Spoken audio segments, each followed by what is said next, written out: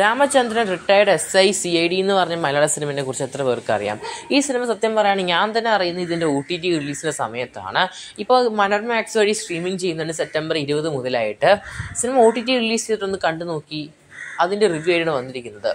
അതിന്റെ വിഷയം ആദ്യമായിട്ട് കാണുന്നവരാണെങ്കിൽ സബ്സ്ക്രൈബ് ചെയ്യുക stock studios YouTube channel retirement കഴിഞ്ഞ ഒരു പോലീസ് ഓഫീസർ ഒരു കേസ് അന്വേഷിക്കുന്നു. അതും അൺസോൾവ്ഡ് ആയ ഒരു കേസ് അതിൽ പെട്ടതാണെങ്കിലോ? ഒരു നിരപരാധി. അപ്പോൾ ശരിക്കുള്ള കുറ്റവാളിനെ കണ്ടുപിടിക്കുന്ന ഒരു സ്റ്റോറി ലൈനാണ് നമ്മൾ രാമചന്ദ്രൻ എന്ന് പറഞ്ഞ സിനിമ ഉടനീളമായിട്ട് കൊണ്ടുപോകുന്നത്. ഈവൻ സിനിമയിൽ ഓരോ കേസ് സോൾവ് ചെയ്യുന്നത് നമുക്ക് ഓരോ ക്ലൂ കിട്ടുന്നു അത് സോൾവ് ചെയ്യുന്നു പിന്നെയും ക്ലൂ കിട്ടുന്നു അത് സോൾവ് ചെയ്യുന്നു പിന്നെ കുറ്റവാളിയിലോട്ട് എത്തുന്നു.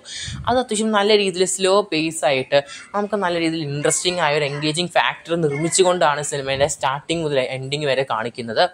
പിന്നെ സിനിമയിലെ വില്ലനെ അല്ലെങ്കിൽ ആ ഒരു കൾപ്രിറ്റിനെ നമുക്ക് ഒരിക്കലും ഗസ്സബിൾ ആവത്തില്ല. എനിക്ക് അങ്ങനെയാണ് തോന്നിയത്. പിന്നെ നോക്കുകയാണെങ്കിൽ സിനിമയിൽ ഒരു എസ് ഐ റിട്ടയർ ആയി അപ്പോൾ അതിന്റേതായ ബേസിക് ആയ കുറച്ച് ഇമോഷണൽ അറ്റാച്ച്മെന്റ് സിനിമയിൽ കാണിക്കുന്നുണ്ട്. അതും ഒരു പ്ലസ് പോയിന്റ് തന്നെയാണ്. അതും എല്ലാവർക്കും കണക്ട് ചെയ്യുന്ന രീതിയിലാണ് സിനിമയിൽ പ്ലേസ് ചെയ്തിരിക്കുന്നത്. ഈവൻ കോൺസ്റ്റബിൾസ് ചായക്കട ക്വാർട്ടേഴ്സ് അങ്ങനെ കാണിക്കുന്നുണ്ട്. പിന്നെ അദ്ദേഹത്തിന്റെ ഫാമിലി കാണിക്കുന്നുണ്ട് ആ റിട്ടയർ ചെയ്ത എസ് ഐന്റെ പിന്നെ അദ്ദേഹത്തിന്റെ ആ ഒരു നാട്ടിലെ ചുറ്റുപാട് കാണിക്കുന്നുണ്ട്. എല്ലാ രീതിയിലും നമുക്ക് എൻഗേജ് ആയിട്ട് കാണാൻ പറ്റുന്ന ഒരു സിനിമ തന്നെയാണ്. ഡീസന്റ് ആയ ഒരു മൂവി എന്ന് വേണമെങ്കിൽ പറയാൻ സാധിക്കും. ഒ ടി ടിയിലൊക്കെ ഒരു പ്രാവശ്യമൊക്കെ കാണാൻ പറ്റുന്ന ഒരു സിനിമ തന്നെയാണ്.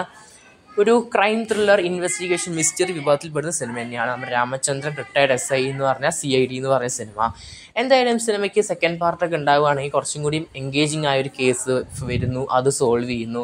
എല്ലാ രീതിയിലും സിനിമയ്ക്ക് സെക്കൻഡ് പാർട്ടൊക്കെ വരികയാണെങ്കിൽ സത്യം പറഞ്ഞാൽ ഞാൻ നല്ല രീതിയിൽ സാറ്റിസ്ഫൈഡ് ആവും. കാരണം നല്ല രസത്തിലാണ് സിനിമേന്റെ സ്ക്രീൻ പ്ലേ ഡയറക്ഷനൊക്കെ ചെയ്തു വെച്ചിരിക്കുന്നത്. ഈവൻ കലാഭവൻ ഷാജോണൊക്കെ നല്ല രീതിയിലാണ് സിൻസിയാരിറ്റിയിലായ ഒരു പോലീസ് ഓഫീസർ സത്യം പറഞ്ഞാൽ എനിക്ക് അദ്ദേഹത്തിന് കാണുമ്പോൾ തന്നെ ഭയങ്കര രീതിയിൽ നെഗറ്റീവ് തോന്നും. കാരണം ദൃശ്യം സിനിമയിൽ സിനിമയിൽ നമ്മുടെ ലാലേട്ടന്റെ ഫാമിലീനെ ഉപദ്രവിച്ച വ്യക്തി എന്നൊക്കെ പറയുകയാണെങ്കിൽ ഇയാളാണ്.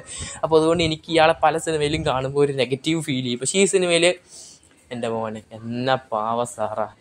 കരയുന്ന സീൻ വരെ ചെറിയ രീതിയിൽ. കുട്ടികളുടെ മനസ്സ് അങ്ങനെ അങ്ങനെ കുറേ എലമെൻസ് ഒക്കെ വെച്ചിട്ട് സിനിമ നല്ല എൻഗേജിങ് ആയിട്ട് കാണിക്കുന്നുണ്ട് സിനിമ സ്റ്റാർട്ടിങ് മുതൽ എൻഡിങ് വരെ. ഒരു ഡീസന്റ് ആയ ഒരു ക്രൈം ത്രില്ലർ ഇൻവെസ്റ്റിഗേഷൻ സിനിമ തന്നെയാണ്. കാണാൻ പറ്റുന്നൊരു കണ്ടു നോക്കും. കണ്ടവർ സിനിമ എപ്പോഴും അൺബോക്സ് ചെയ്യപ്പെടുന്നത്. കൂൾ സിനിമ റിവ്യൂസിനായിട്ടും സിനിമ അപ്ഡേറ്റ്സ് ചാനൽ ഇപ്പോൾ സബ്സ്ക്രൈബ് ചെയ്യുക. സ്റ്റോക്ക് സ്റ്റുഡിയോസ് ഒരു ചാനൽ